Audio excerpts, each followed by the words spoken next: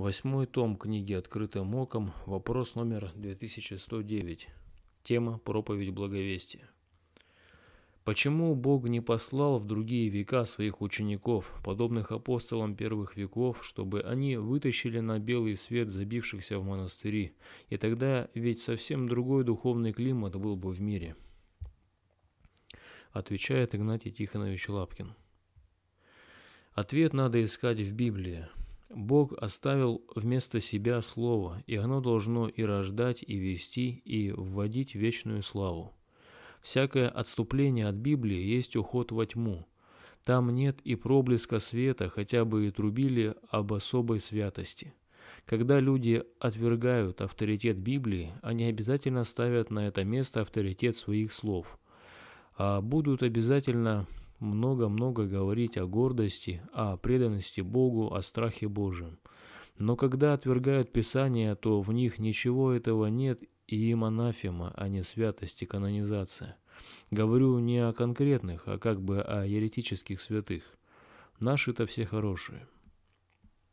Человеческий авторитет – это шажок к абсолютизму Антихриста, к его воцарению – Послание Галатам, 1 глава, 8-9 стихи. Но если бы даже мы или ангел с неба стал благовествовать вам не то, что мы благовествовали вам, да будет анафема. Как прежде мы сказали, так и теперь еще говорю, кто благовествует вам не то, что вы приняли, да будет анафема. Второе послание Тимофею, 2 глава, 2 стих и что слышал от меня при многих свидетелях, то передай верным людям, которые были бы способны и других научить.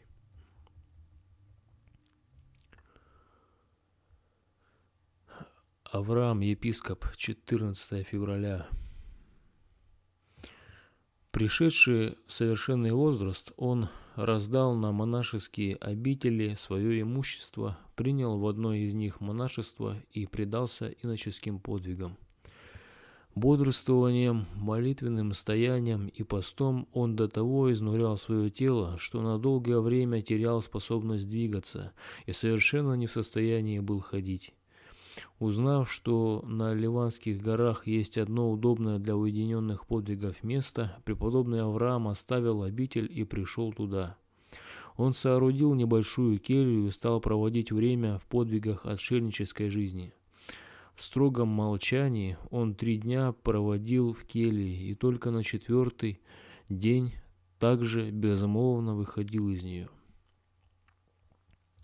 Много страданий претерпел на этом месте преподобный. Язычники, узнав о нем, сперва засыпали его песком, а потом стали причинять ему и другие насилия с целью заставить его уйти подальше из этого места. Кроме того, и бедные земледельцы из ближнего селения сильно досаждали ему тем, что часто приходили к нему и просили подаяния. Но преподобный терпеливо переносил все, и чтобы избавить себя от мучительных издевательств, отдавал просившим подаяния все то, чем снабжали его некоторые благочестивые посетители.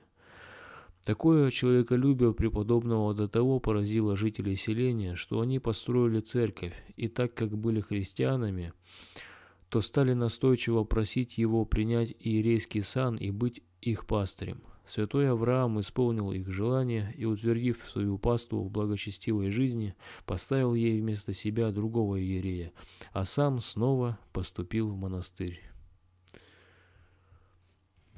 В любом событии есть признаки, причины, как зарождалась и вскисала зримо.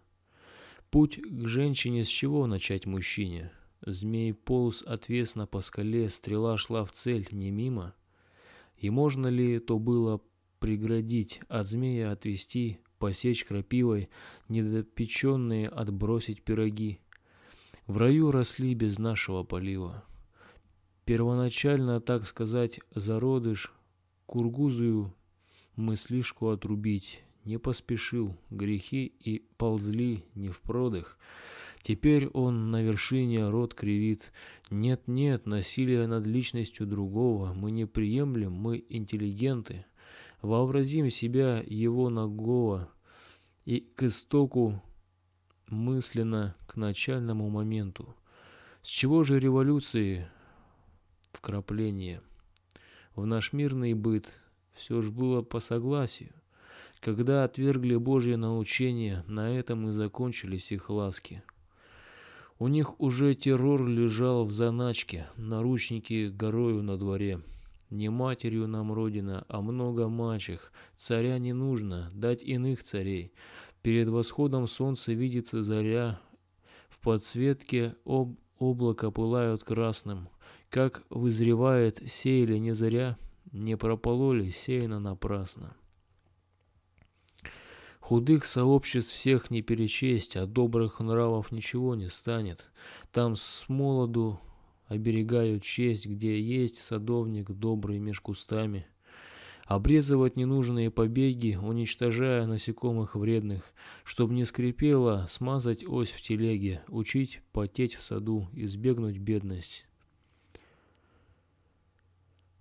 1 октября 2003 года Игнатий Лапкин